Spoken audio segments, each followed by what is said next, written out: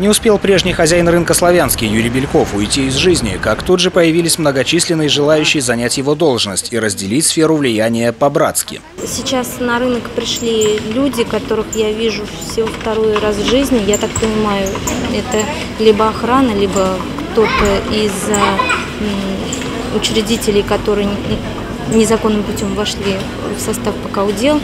И ходит, баламутит предпринимателей, э, изымает какие-то документы на все вопросы, кто они, говорят, обращайтесь к председателю, Чернышову, в общем, никакого конкретики не говорят.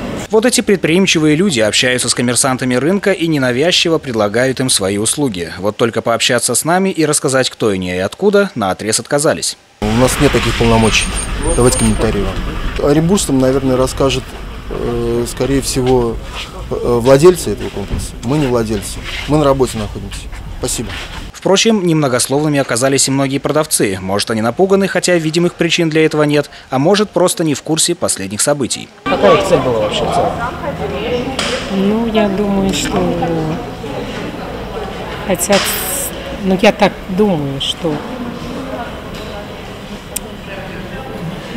ну как, не знаю, честно говоря. После некоторого времени поисков нам удалось найти осведомленного предпринимателя, который и смог прояснить ситуацию. Они представились э, представителями удел, узнали, что, значит, с кем у меня заключен именно договор. Я сказала, что с фирмой удел. И попросили документ, договор с рынком.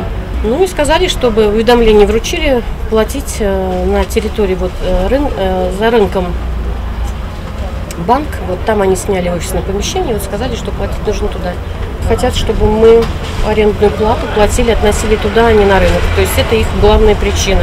И все же, как бы там ни было, на данный момент существует договор аренды прежнего хозяина с местными частными предпринимателями, срок которого пока не истек. Сейчас наследники Юрия Белькова направили необходимые документы в суд, который состоится в сентябре. Каким будет его решение, покажет время. Иван Бер, Вадим Нечаев. Наше время.